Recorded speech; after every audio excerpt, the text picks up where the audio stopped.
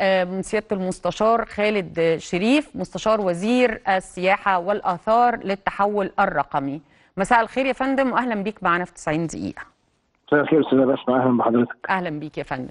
قول لنا بقى يا فندم إيه ميزة منظومة الدخول الإلكترونية الجديدة للأهرامات؟ ميزتها إيه؟ طيب إحنا مبدئيا عندنا مشروع كبير للتحول الرقمي في وزارة السياحة والآثار وده من ضمن ال ال ال الأنشطة اللي فيه أو الخطوات اللي بتتم فيه هو إدخال منظومة دخول إلكترونية لجميع المواقع الأثرية والمتاحف اللي موجودة في مصر أو اللي هي الأكثر زيارة في مصر. أيوة. إحنا بنتكلم على حوالي 40 موقع أثري ومتحف. النهارده ابتدينا تشغيل الخطوة الأولى في المنظومة الإلكترونية المتكاملة لمنطقة الأهرامات وده ثالث موقع بنشتغل فيه بعد المتحف القومي للحضاره المصرية ومتحف التحرير المتحف المصري بالتحرير النهارده شغلنا المرحلة الأولى اللي هي إصدار التذاكر الإلكترونية. التذاكر الإلكترونية دي بتيجي بديل عن التذاكر الورقية اللي كانت مستخدمة قبل كده واللي كان بينتج عنها مشاكل كثيره منها تزوير إعادة استخدام التذاكر عدم وضوح التذاكر إلى آخر هذه المشاكل اللي كانت بتؤدي إلى مضايقات للسائحين في المقام الأول وبتؤدي إلى اختلال في منظومة الإيرادات اللي هي بالنسبة للمواقع الأثرية.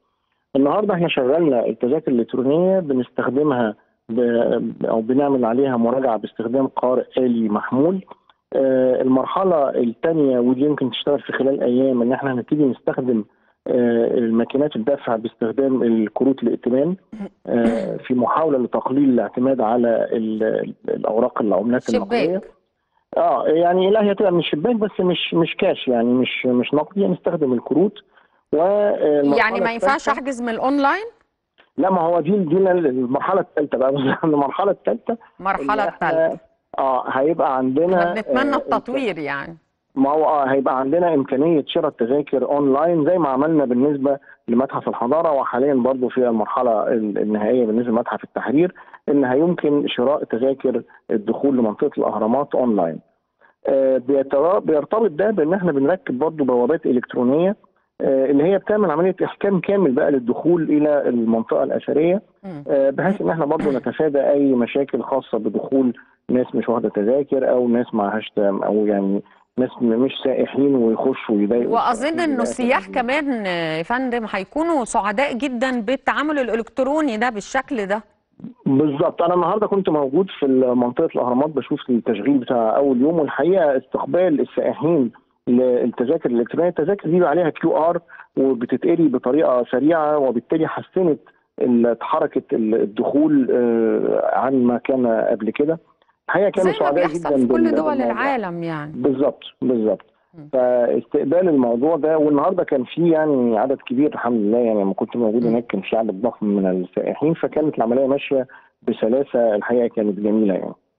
طب بما إن حضرتك كنت موجود النهارده قول لنا إيه أهم أعمال التطوير اللي بنعملها في منطقة الأهرامات حاليا أو غيرها من المناطق هناك؟ هو بصفة عامة برضو في مشروع كبير لتطوير المناطق الأثرية بشكل عام. ده بيتضمن يعني مش هنتكلم بقى على الجزء الرقمي. الجزء الرقمي قلنا مرتبط بالتذاكر والبوابات الإلكترونية. في خدمات بتتوجد للسائحين أماكن مظللة بتتعمل أماكن كراسي أماكن للمشروبات والميه والمشروبات والكلام ده بحيث إن إحنا بنسهل أو بنخلي زيارة السائح للمنطقة أكثر راحة عن اللي كان قبل كده. بيرتبط ده برضه بإحكام السيطرة على المناطق الأثرية لإلغاء المضايقات اللي بتتم للسائحين. وزي ما قلت ده مشروع ضخم برضه بيتم في جميع المواقع الأثرية.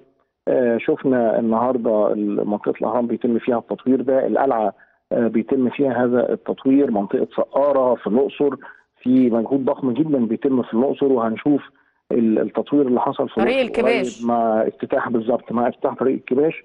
الحقيقة يعني في مجهودات ضخمة في تطوير المناطق الأثرية بتتم للخدمات اللي خلينا نسميها الخدمات التقليدية. دي برضو موجودة بيتم العناية بيها في كل المناطق الأثرية.